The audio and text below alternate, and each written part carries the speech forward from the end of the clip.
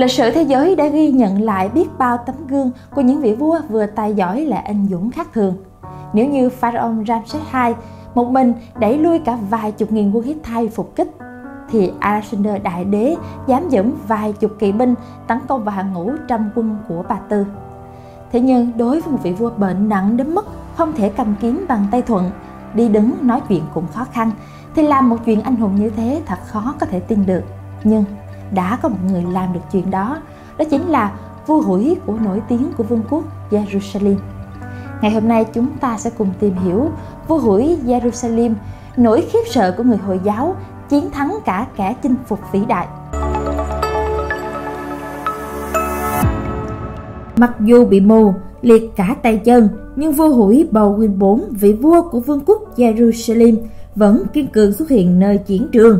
Ông là nỗi khiếp sợ của người Hồi giáo trong thế kỷ 12. Câu hỏi được đặt ra là làm thế nào một ông vua bị hủy có thể trở thành một người bảo vệ niềm tin, kẻ cứu rỗi thế giới Thiên Chúa giáo hay vị anh hùng của các hiệp sĩ dòng đền dựa vào những nguồn động lực hay loại ý chí mạnh mẽ mà một người tưởng chừng như tàn phế. Thực tế ông chỉ sống được 24 năm, lại có thể bảo vệ Jerusalem khỏi Saladin, người được mệnh danh là chiến binh bất tử của đạo hồi trong suốt chừng ấy năm trị vì cho đến cuối đời. Khi đã hoàn toàn bị mù và liệt cả tay chân, Baldwin IV vẫn khiến cho kẻ thù của mình không dám tấn công vương quốc thiên đường dù rằng lực lượng của họ đông và mạnh mẽ hơn rất nhiều lần, đó quả thực là một nỗ lực vượt quá giới hạn của con người. Tuổi thơ không hề biết đến sự đau đớn thể xác.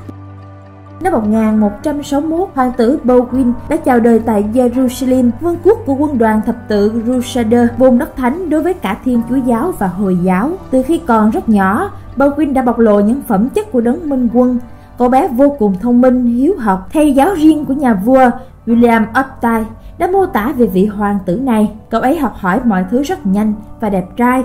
Thời gian trôi đi, cậu ấy tràn đầy niềm hy vọng và đã tự phát triển những khả năng tự nhiên của mình một cách thành thục. Trong việc điều khiển ngựa, cậu ấy tỏ ra còn giỏi hơn những người đàn ông lớn tuổi.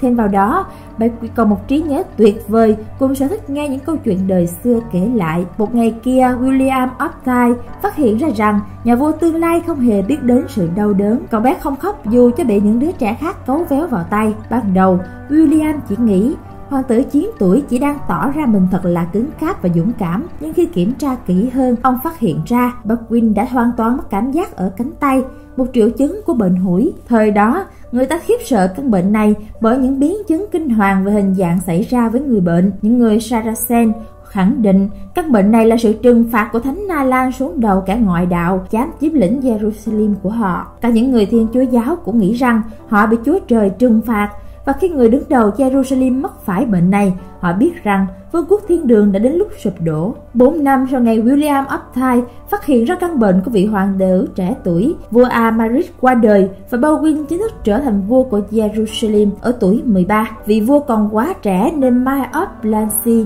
họ hàng gần nhất của nhà vua trở thành nhiếp chính. Sau đó không lâu, Ma bị giết chết bởi Raymond of Tripoli trở thành người thay thế. Năm 1175, Raymond of Tripoli ký hòa ước với Saladin, thủ lĩnh vua triều Ayyubis và cũng là thủ lĩnh thế giới đạo hồi khi đó để giữ cho Jerusalem được bình yên ít nhất là trong vài năm.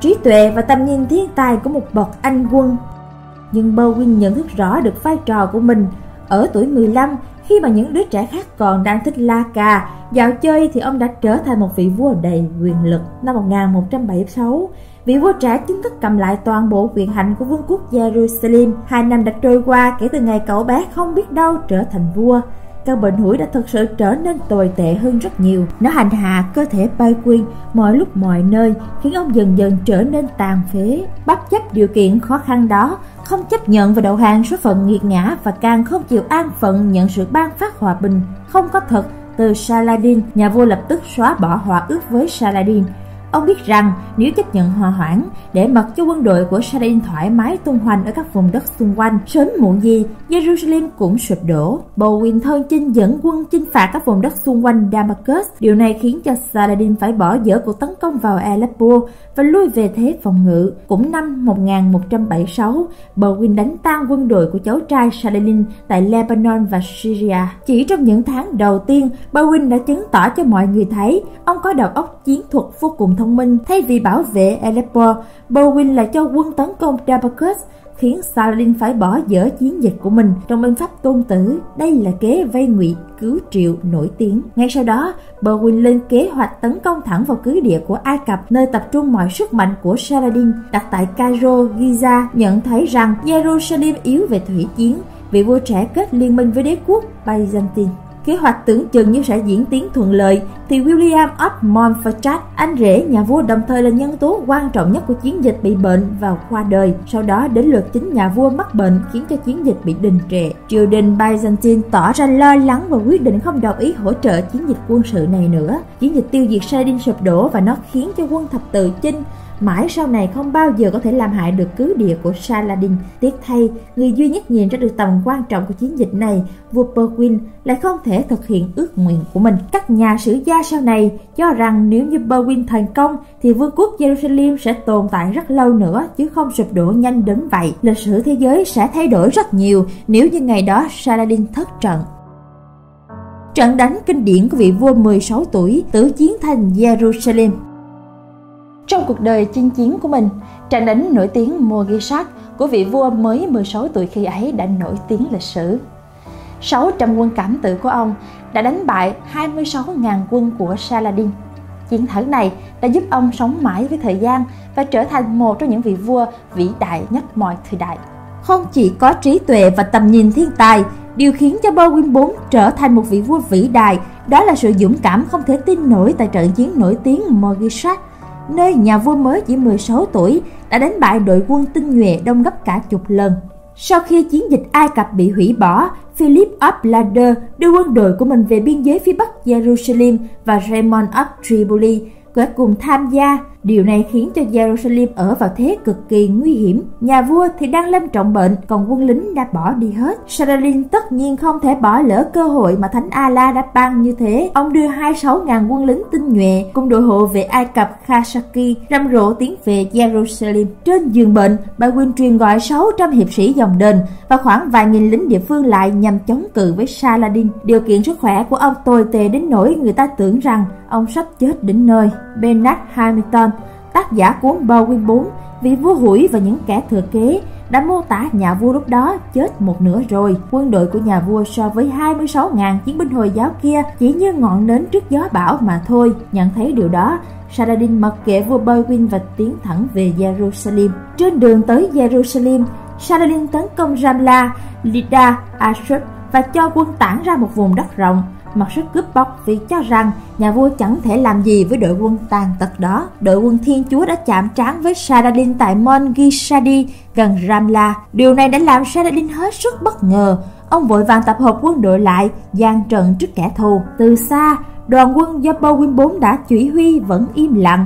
Nhà vua ra lệnh đặt cây thánh giá khổng lồ trước tiền tuyến và bản thân nhà vua, dù đang mang trên mình căn bệnh khủng khiếp vẫn gắng sức xuống ngựa, quỳ trước cây thánh giá, cầu chúa ban cho chiến thắng và đứng thẳng người hô hào binh lính. Trong lúc Saladin vẫn mãi tập hợp đội ngũ, thì quân thiên chúa đã tràn tới như thác lũ. Nhà vua tay phải quấn băng kính, không thể cầm nắm. Tay trái vung kiếm xông thẳng vào giữa trung quân của Saladin. Sứ giả Tephem Howard thuật lại 26.000 chiến binh Saracen ở đó đối đầu với vài trăm kỵ binh thiên chúa nhưng những người Saracen hầu như đều bị giết, số khác lại bỏ chạy. Saladin trốn thoát vì ông ta cưỡi một con lạc đà đua, vì vua trẻ với bàn tay quấn băng kính luôn đi đầu hàng ngũ của người Thiên Chúa với thánh George ở bên. Người ta kể lại rằng cái thánh giá sáng bừng lên như mặt trời, đó là một chiến thắng không tưởng, âm vang của cuộc thập tự chinh đầu tiên dội về, nhưng đó cũng là lần cuối cùng một đội quân Hồi giáo bị đánh bại bởi lực lượng quá bé nhỏ như vậy.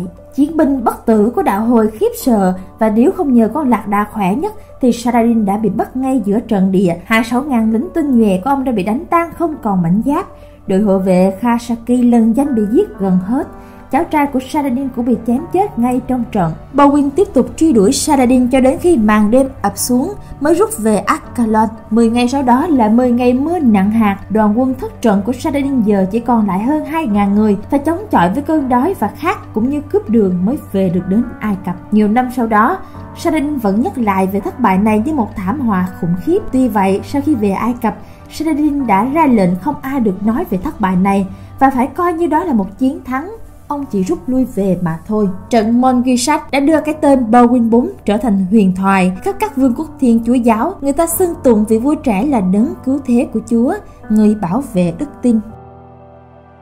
24 năm một huyền thoại Vinh quang của chiến thắng không làm dịu đi sự lây lan lúc đó càng nhanh của căn bệnh hủi. Trong khi đó, người kế nhiệm Bowen 4 lại chẳng có ai. Năm 1183, nhà vua chính thức bị mù, tứ chi bị hủy hoại tới mức không thể làm gì được. Cuối năm 1183, đám cưới của người chị nhà vua Isabel tổ chức tại Kirat đã khiến Saladin chú ý. Ngay lập tức, vị thủ lĩnh Hồi giáo đưa quân tới bao vây lâu đài trong lúc mọi người đang ăn mừng. Bowen 4 dù đã hoàn toàn là một người tàn phế, nhưng ra lệnh cho tùy tùng đặt mình lên cán đưa ra trận cứu nguy cho Kirat. Kinh sợ trước nỗ lực phi thường này, đồng thời cũng biết rõ tại cầm quân tuyệt vời của vị vua trẻ, Sarin ra lệnh rút quân. Năm 1184, một lần nữa Sarin lại cho quân bao vây Kirat và ngay sau đó cũng phải rút quân vì Bowen bốn xuất hiện trên chiến trường dù phải nằm cán.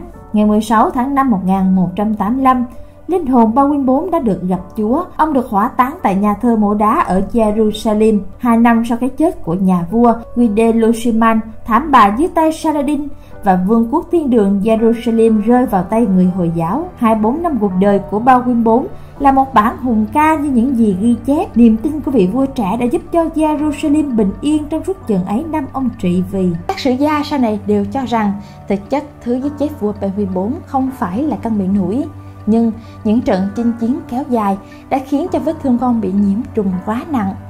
Nhưng có thể nói, so với 9 năm trị vì và những điều ông làm còn đáng giá hơn rất nhiều so với 90 năm sống thanh thản.